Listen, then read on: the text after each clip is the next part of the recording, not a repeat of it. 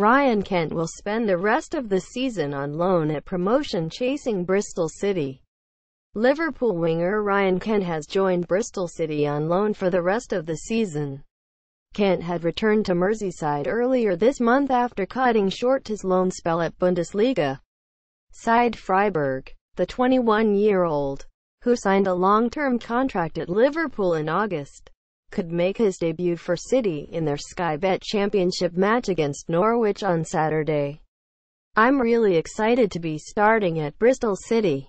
They've got a great manager in Lee Johnson and he's got the team playing some really good football this season. Kent told the club's website. They've already shown how good they are in the last couple of weeks against Premier League opposition. So I'm really excited to get started here. Quote, Kent featured heavily for Liverpool during preseason and the Premier League club were keen for him to continue his development at a side in the Championship. He spent last season on loan at Championship side Barnsley, scoring three goals in 47 matches. Johnson added, I'm delighted to bring in a player of Ryan Kent's quality. Kent made six appearances while on loan at Freiburg during the first part of the season. He did very well at Barnsley last year and he'll bring genuine speed, athleticism and ball control to our squad.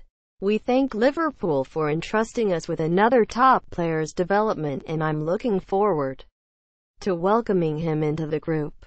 Quote, Kent becomes City's second signing of the January transfer window following the loan arrival of midfielder Liam Walsh from Everton.